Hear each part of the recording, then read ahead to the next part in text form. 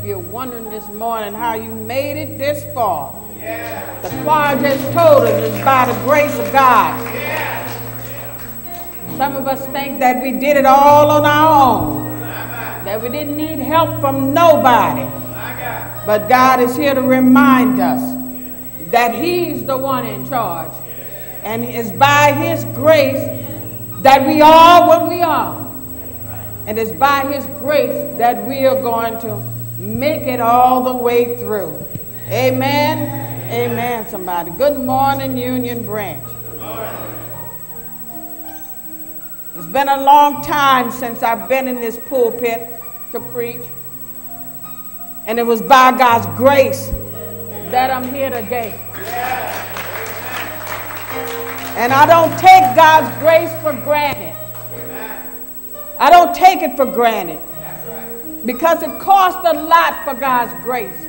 It cost Jesus' life for God's grace. And so I stand here before you, thanking God that I'm able to stand here before you. Amen. Amen. Let's give this great choir hand clap of praise that brought us God's grace.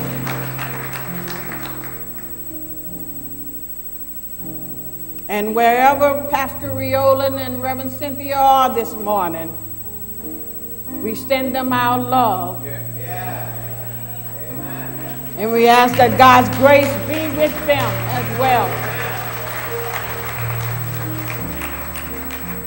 Because when it's all said and done, this was God's doing.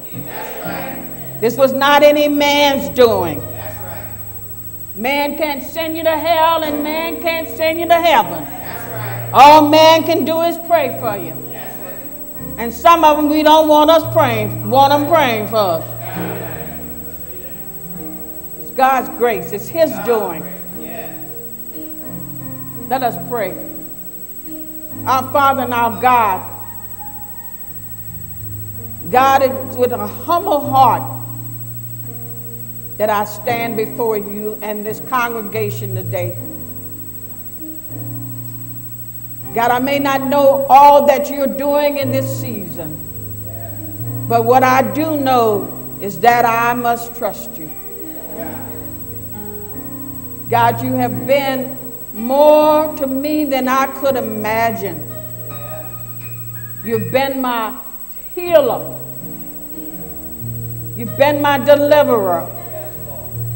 You've been my Savior. And you are my Lord. Now, God, I ask that I decrease, but Christ must increase.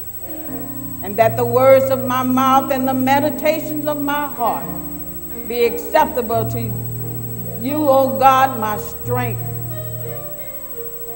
My strength. If you would join me this morning and turn to your Bibles to Romans 8, verses 31 through 39. Romans 8, verse 31 through 39. A very familiar passage.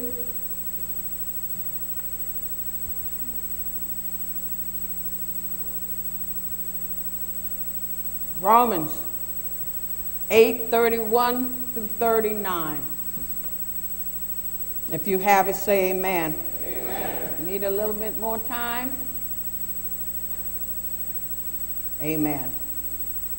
The Word of God reads thusly What shall we say about such wonderful things as these? If God is for us, who can be against us? Since he did not spare even his own son, but he gave him up for us all, won't he also give us everything else? Who dares accuse us whom God has chosen for his own? No one. For God himself has given us right standing with himself. Who then will condemn us? No one. For Christ Jesus died for us and was raised to life for us. And he is sitting in the place of honor at God's right hand, pleading for us. Can anything ever separate us from Christ's love?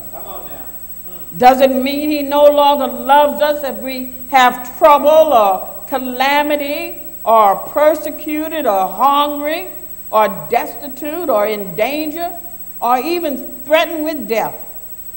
As the scripture says, for your sake, we are killed every day. We are being slaughtered like sheep. No, Despite all these things, overwhelming victory is ours through Christ who loved us.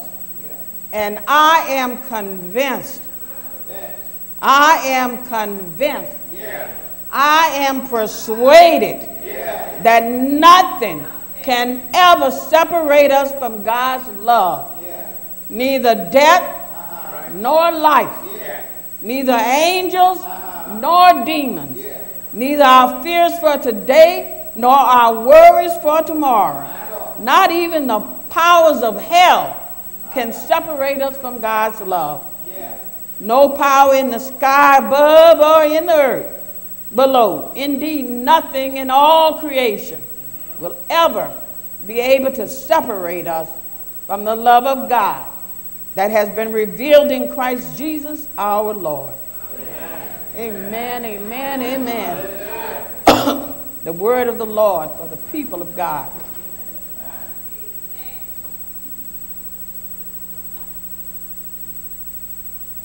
And after hearing God's word, my title for today is We Can't Lose with God on Our Side. All right now. We can't lose with God on our side. Now, I'm about to do something that I am about to say something that y'all know. Not that I had trouble with it, I used to always kid Pastor about using sports analogy. he, he know I didn't like them. And every time before he was said, he would say, Reverend Wynn, I'm, I got to do it. So now I tell Pastor, I got to do it.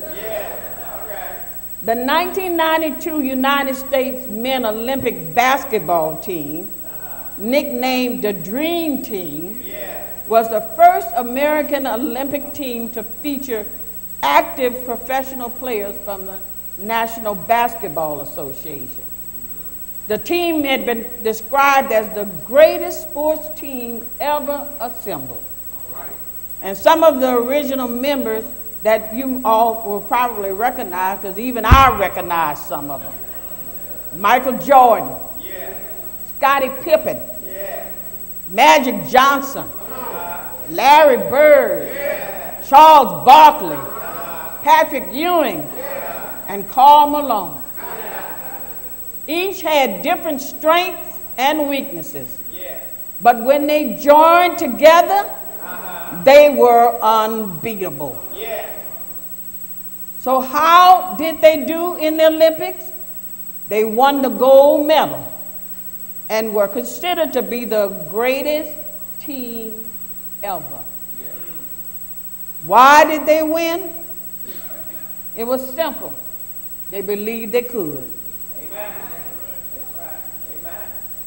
So uh, the Apostle Paul, in this letter that he wrote to the Roman church, talks about what I call the Christian dream team. Now, just in case there's somebody in here that don't know who Paul is, I'm going to let Paul introduce himself to you. In Romans 1, Paul says that Paul, a servant of Christ Jesus, called to be an apostle, and set apart for the gospel of God. That's who Paul says he is. Paul didn't say he had all these degrees and all these letters behind his name. Paul didn't say he went to the Samuel DeWitt School of Theology at Virginia Union. Paul didn't say he had all this money. Paul didn't say anything about himself other than that he's a servant of Christ Jesus, called to be an apostle.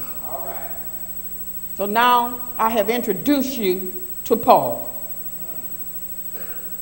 He said this team has only three members who all have equal ability, and even though they are three, they are called by one name. Not Michael Jordan, not Scottie Pippen, not Magic Johnson, but they're called by one name. See, they can operate separately as well as collectively with no problem.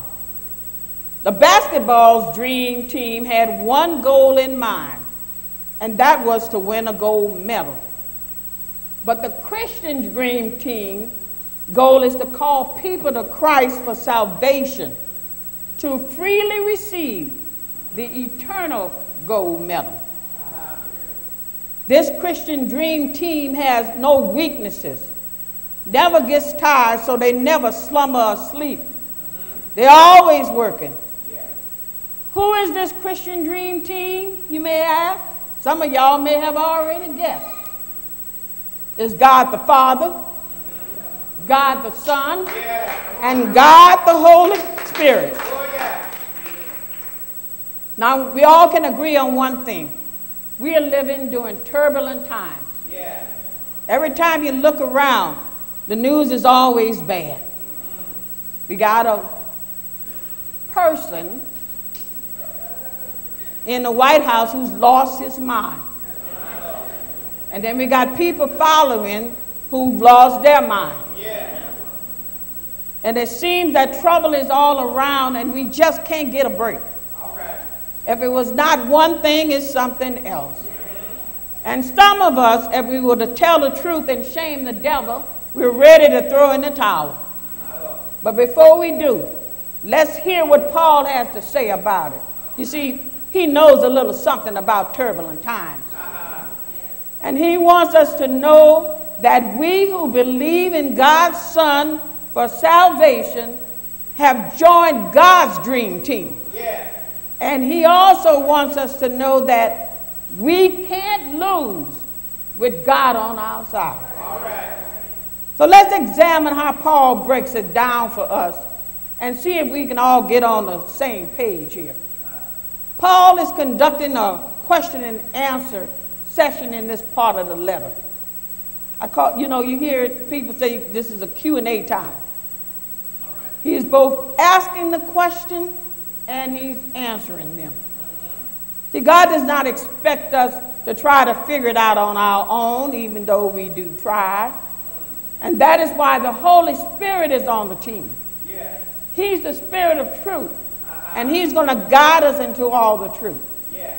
So the first question he asks is, What shall we say to such wonderful things as these?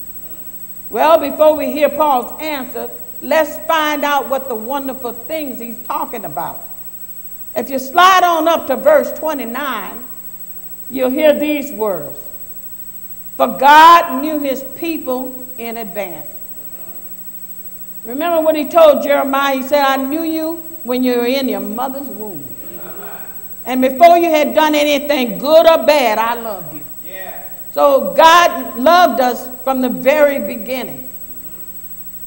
He said, and I, He chose them to be like His Son. He chose them to be like His Son. But only those who would accept Jesus as the Messiah. Yeah. Only those who would believe in Him. Only those who would accept the gospel. He chose them to become His Son. And then after He chose them, He said, his son would be the firstborn among many brothers and sisters. That's why we are called brothers and sisters. Christ is the first fruit. He's the first one. Yeah. And the rest of us came after him, and we are, and he calls us brothers and sisters. You thought just your brothers and sisters were your biological family. But there are some people in here that their friends are closer than their brothers and their sisters. But this is the family of God we are talking about. You can't come in this family just by being a friend of somebody else. You can't come in this family just by relating to somebody else.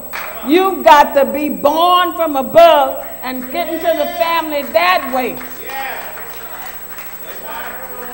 You can't buy your way in. You can't talk your way in. You can't slip in like a thief. You can't do any of these things. You have to be born again. That's what Christ told Nicodemus. You got to be born again. And having called them and having chosen them, he called them to come to him. Thank you. And having called them, he gave them right standing with himself. That means he forgave us of our sins. God forgave us. God forgave us. And some of us know that we did some pretty horrible things in the eyes of God. But He forgave us. He forgave us. And having given them the right standing with Himself, He gave them His glory. Because one day, one day we're going to have a resurrected body like Jesus. Yeah. We're going to be just like Him. Yes, And that's good news, people. Oh, yeah. In this world of bad news, that's good news. So Paul asked, What is your response to this good news? So he answers the question If God is for us, then who can be against us? Yeah. That if is because, because God is for us, mm-hmm. then who can be against us? Yeah. In other words, we can't lose with God on our side. Paul then reasons with us. He, he lets us know how God gave his best. His best. Sad to say, some of us do everything else with our money and give God the rest. But God gave his best. So it stands to reason that if he gave us his best, then what's the rest of the stuff? What's the rest of it? And he said he will give us, he will not withhold anything from us that we need. So I firmly believe with all of my heart that when bad things happen to us, God is looking to see how we will respond. Will we remember his promises to yeah. us? His promise to never leave us nor forsake us. Yeah. His promise to be a present help in times of trouble. Yeah his promise to give us a peace that passes all understanding. Uh-huh. Will we remember how he was there for us in the past when we did not know how we would get through? Yeah. And I don't know about you, but I've been in some sticky situations. Oh, yeah. When the only place I could go was God. Because nobody else wanted to have anything to do with me. They said, You got yourself in that mess, now get yourself out. So I took my little self on to God. Yeah. And like so many of us, we say, God, if you only get me out of this thing here, I promise to serve you all the days of my life. Until the next time. God, if you get me out of this mess, I promise to serve you all the days of my life. Until the next time. The songwriter says God's amazing grace that they just finished singing about brought us through many toils and snares. And if he did it then, he'll do it again. Our outlook determines our outcome. Our outlook determines our outcome. So if our outlook says to us, uh, we ain't gonna never get out of this. Guess what? You're never gonna get out. But if our outlook says, I will trust the Lord no matter what, then what's the outcome? You're gonna get through. Yeah. Our outlook determines our outcome. Uh-huh. Keeping our eyes on God, we will discover that God causes all things, all things to work for good Yeah. to them that love Him and are called according to His purpose. They don't work for good for everybody, Yeah. and they may not be good to us. They may not even sound good. Yeah. But God is going to work them for our good. Mm-hmm. And so that it all comes out in the end. Yeah. Now, in the Old Testament, there was a king named Jehoshaphat. Mm-hmm. He was the king of Judah during that time. And he was told that a vast army was coming against him to destroy God's people. Jehoshaphat started remembering how God helped him in the past. And so he began to pray. Yeah. So when we remember what God did for us in the past, then that's the time to pray. That's the time to pray. And the last line of Jehoshaphat's, Jehoshaphat's prayer was this We don't know what we're going to do, Yeah. but our eyes are watching God. Our eyes are watching you, God, to see what you're going to do. Mm-hmm. And after Jehoshaphat prayed, God sent a messenger to encourage his people. He told them, he said, Do not be afraid. Yeah. Union Branch, do not be afraid. Yeah. He said, do not, do not be dismayed, for the battle is not yours. The battle is God's. Yeah. How come we trying to fight a, a fight that we can't win? That's right. But we can't lose if God is on our side. We got to get out of God's way. Yeah. And we got to let Him who called us to Himself fight our battles. Yeah. The storms are going to come. Mm-hmm. Your hearts are going to break sometime. Yeah.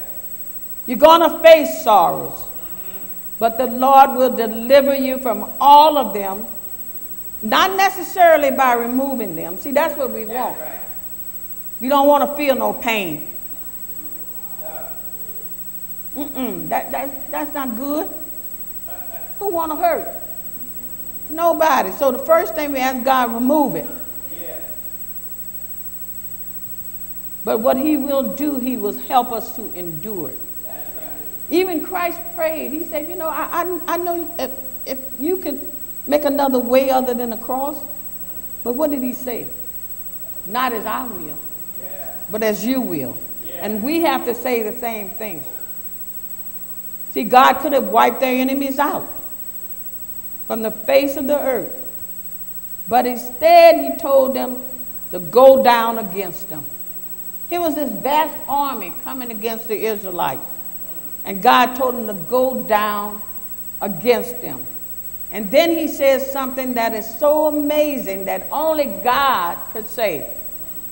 He said, You will not need to fight in this battle. He said, Stand firm, hold your position, and see the salvation of the Lord. So if we just stand still and know that He is God and let God be God, we will not go through this thing long. God will send us the right one at the right time for the right reason because He loves God, because He loves the people. We just have to stand still, stand firm, hold your position, and see the salvation of the Lord on your behalf. So, what did the people do when they heard this? They fell down and they began to worship God. And if I can imagine what they were saying, thank you, Lord. Yeah. Thank you, Lord. Yes, sir. Thank you, Lord. Thank you. The battle wasn't won yet Uh-huh. because God told them the battle wasn't even there. That's He said, You're not going to even have to fight. Yeah. So, Union Branch, we're not going to even have to fight. And we're going to be like the old saints say, we're going to wonder how we got over. We're going to wonder how we got over. Because we can't lose with God on our side. Oh, yeah. Say it with me. We can't lose with God on our side. It is impossible Yeah. for us to lose. The creator of heaven and earth is on our side. Oh, yeah. You don't need anybody else fighting alongside of you but God. Ask David when he fought Goliath. Before Gol- Goliath could even think straight, David had already knocked him dead. I imagine he was still going, "Oh, "Wha- wha- wha- what happened? I, I didn't even see that storm coming. And that's how we will be. And then the second and the third question that Paul asked, they're, they're basically the same, said, Who will accuse us before God? And who is he that condemns us? The all knowing, the all powerful. God knows what we did, and he still forgave us. Uh-huh. Not because we were worthy of righteousness, or, or because of our own righteousness, but because of Jesus, who died for us and paid the penalty for our sins. And now he is creating this new creation committed to serving God. Let me give you a simple example of this. Y'all know that I work for the BGC, right? So oftentimes I have to call and get food for different events or whatever. So I called this restaurant one day and I said, you know, we need to order this food. And I paid for it with the company's credit card. But someone else went to pick it up for me. And when they got there, the people wanted to charge them again.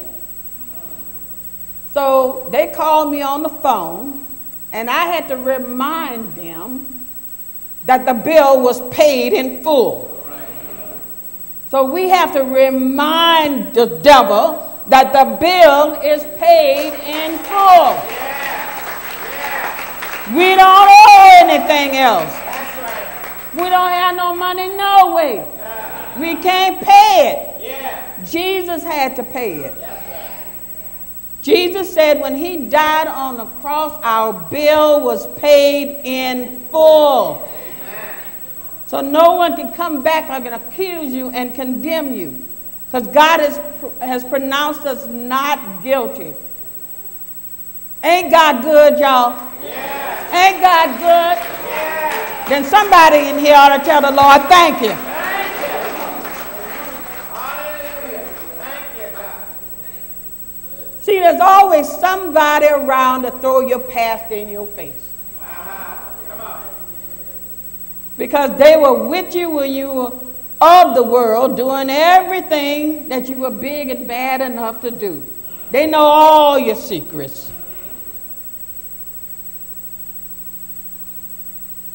You know what I say to them? When they come to me and say, I remember when you were, yeah, you right. I ain't gonna argue with them.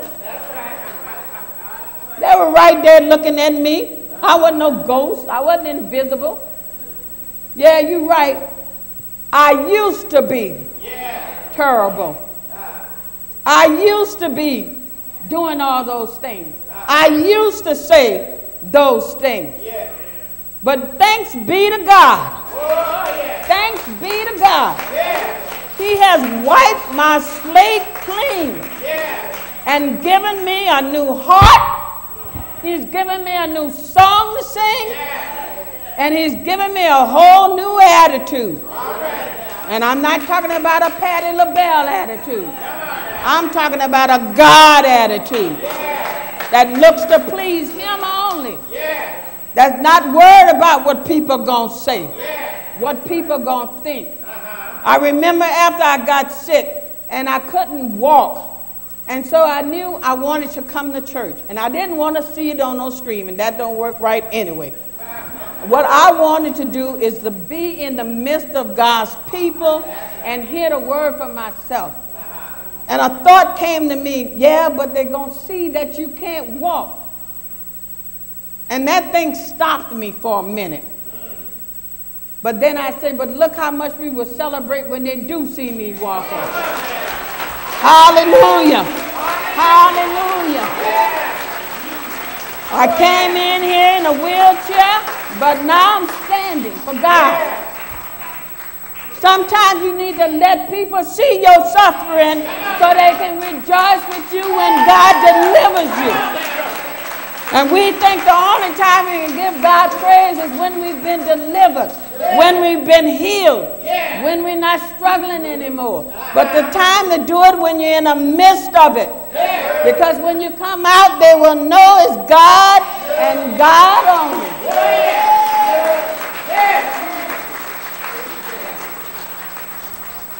The first time I came in here, I saw Reverend Riolan as two people. He had two heads.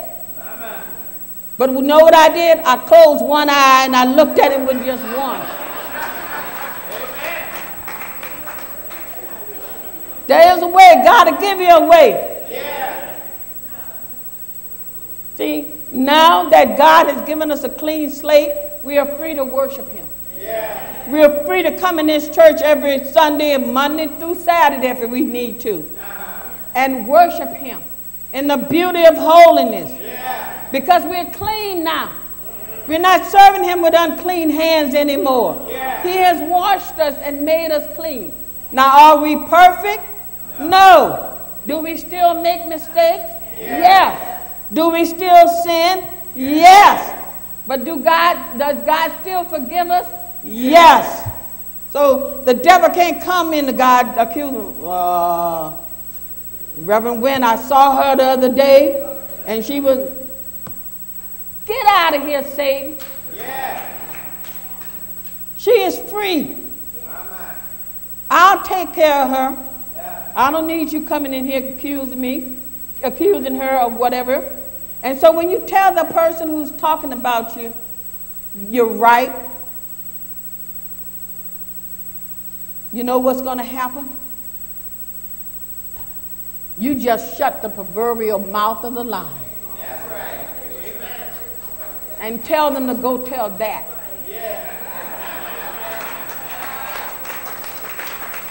You talking so much. Talk about this other thing. You shut their mouth because I tell you, people, we can't lose with God on our side. And finally, Paul asked a question that settles it all. He said, Can anything, anything ever separate us from Christ's love? And his answer was found in verse 37. He said, There is nothing. So he goes from all things to nothing. All things. Nothing. Nothing in this world can separate us from God.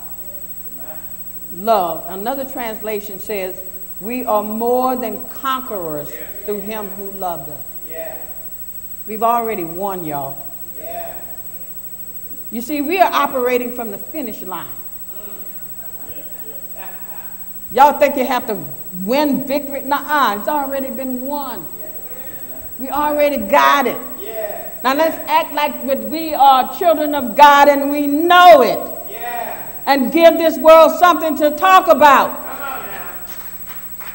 Because they're going to look at us and they're going to wonder how we can say we're walking from victory when there's sickness, when there's sorrow, when there's pain. But that doesn't mean God doesn't love us. What He's trying to do is to build us up, to look to Him, to trust, to look to trust Him above all odds. And it's not a blind trust. It's a trust based on experience. It's a trust based on relationship. If you don't have a relationship with somebody, you are not going to trust them very far.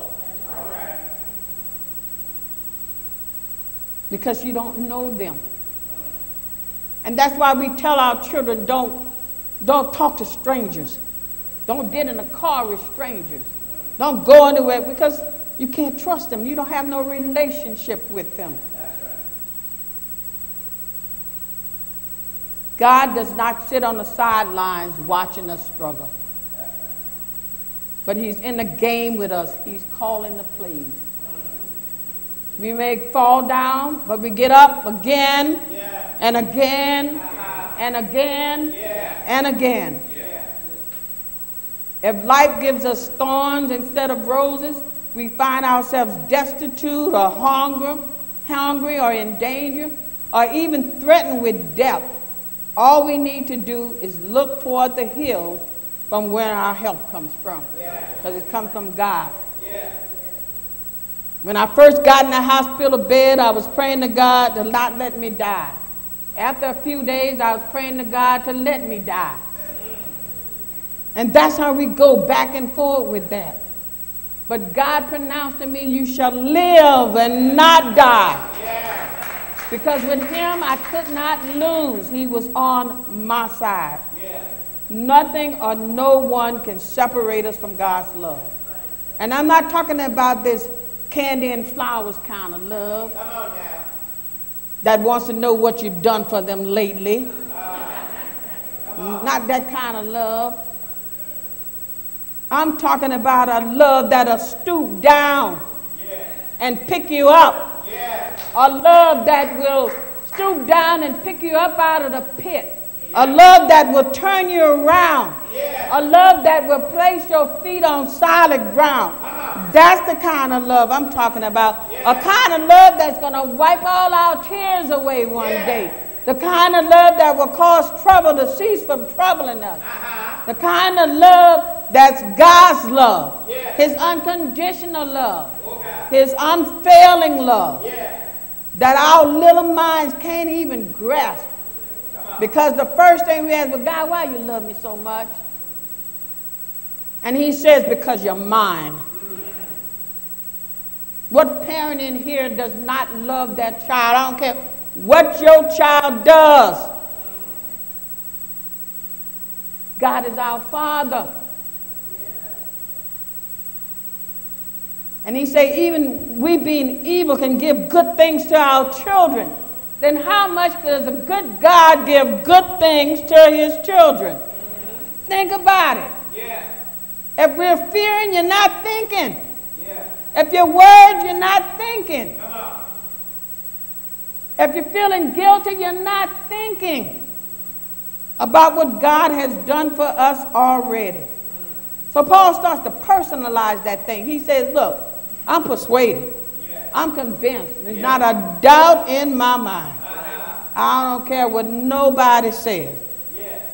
There is nothing that can ever separate us from God's love. Not the vicissitudes of life or the fear of death. Not the things we're presently going through or the things that we will surely go through. Yeah. Not any power in the sky or on the earth. Nothing. No one is greater than God. Yeah. And guess what? Greater is He that's in me than He that's in this world. Oh yeah. We are on God's team. For He is the one who called us. He's the one who chose us. I know y'all said y'all found Jesus, but y'all ain't find Him. He wasn't lost. You, you were lost. That's right. Come on. Come on. All of y'all, everybody, me too. Because we're all sinners saved by grace. God came looking for us. And so we're on his team. And the Holy Spirit is on his team to keep us until Jesus returns. See, David was convinced when he penned the 23rd Psalm. Yes. At the end of that psalm, David says, Surely, Surely. surely, Surely. surely, goodness and mercy is going to follow me all the days of my life. Uh-huh. And I'm going to dwell in the house of the Lord not just one day, not just two days, not just three days, but forever. I'm going to be with God. And I say it again, and I'll keep saying we can't lose with God on our side. And all of us know that Christ's death was not the end of the story. Right. Yeah, he died on the cross, They buried him. Yeah. He stayed in the grave a couple of days, but he got up. Yeah. He got up. He got up. God called him early one Sunday morning, yeah. And death had to release him. Oh, death, where's your sting? Oh, grave, where's your victory? And now he's seated at God's right hand with all power. With all power. That anything life can throw at you, throw it back. Because God has all power in his hand. And he's interceding for us. You know what happens when Jesus prays? God listens. And God does it. Because Jesus prays according to God's will. And some of us pray according to our will. Give me that big car. Give me that big house. Give me that big job. Give me that big, big, big. When I ride around the city and see all these storage units, you know what I say to myself? People got too much stuff. When you got to put it in a storage unit, you got too much stuff. Don't need all that stuff. Yeah. Because you know what you spend your time is? Doing? Protecting the stuff. Where thieves can come in and steal it. But when you have the eternal stuff, nobody can steal it. Not your joy, Yeah. not your peace, Uh-huh. not your love, Okay. Nothing. Can they steal. One day, soon and very soon, we're going to see him face to face. We will bow down to the King of glory. And who is the King of glory? Yeah. The Lord strong and mighty in battle. Yeah. He is the King of glory, and He is on our side. Yeah. We can't lose, my brothers and sisters. It's impossible for us to lose because God is on our side. Now, somebody tell the Lord, thank you. God be the glory.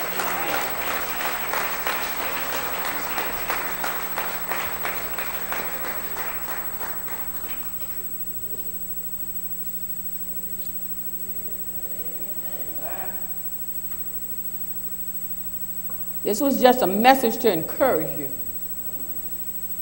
To encourage you that the battle is not over. And the battle is not ours. It's God. Let us stand, please.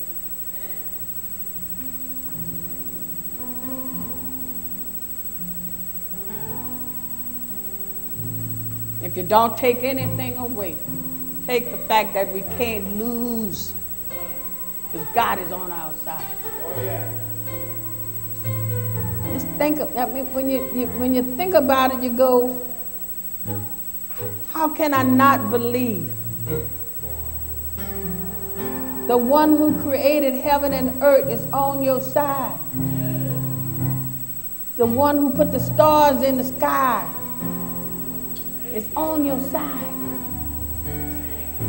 The one who came down for it in two generations is on your side. He won't leave you alone. And I know we all family in here today because no one stood up as a visitor.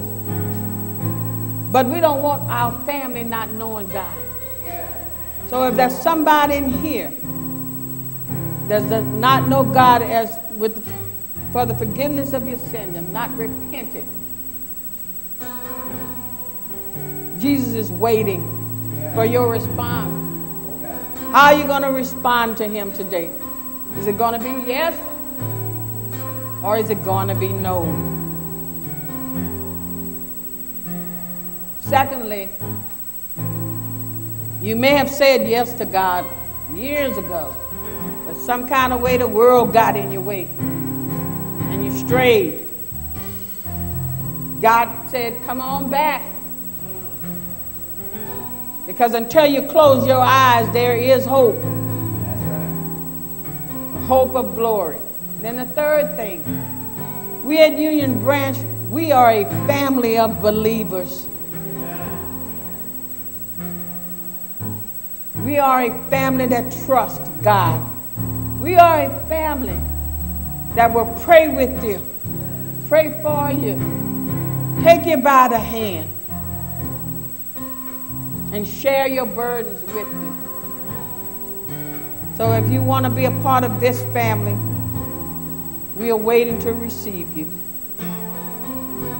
Salvation, restoration,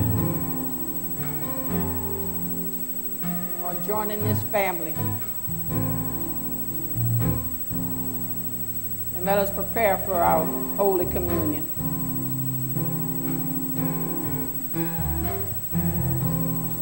There's a lifting of the hand. I'm going to pull the table out. There's a lifting of the heart.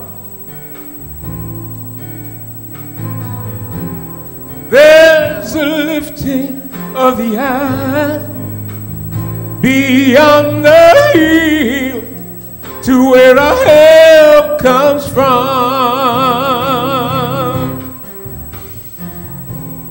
There's a lifting of the hand. There's a lifting of the heart.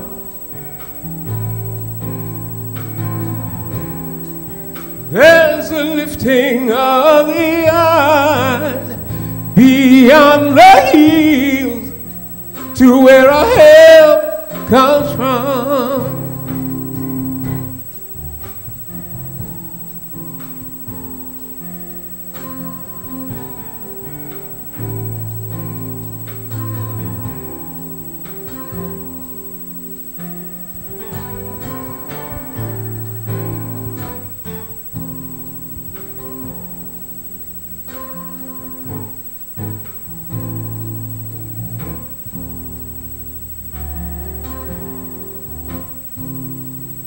What is the Lord's Supper? Holy Communion is the sacred ordinance established by the Lord Jesus during his last Passover meal with his disciples. When we partake in communion, we are in fellowship with Christ Jesus. When we partake of this sacrament, let us meditate on him and consider all that he has done for us and how he is still with us. This is a moment of reflection and remembrance. So let us allow these sac- sacred elements and the mere silence itself to speak to our busy souls.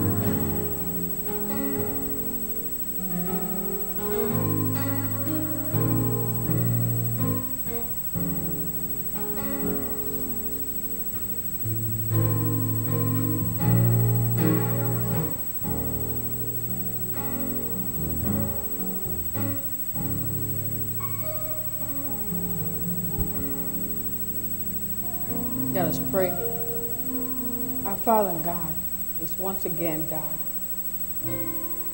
we come to your table in remembrance of you who died, but you rose again. And, and with your resurrection, you have brought us to new life. We ask, God, that as we partake of these sacred elements, that they be transformed into your body and your blood so that they can create in us a new person. Bless us, O God. Bless us, O God. It's in Jesus' name we pray. Amen.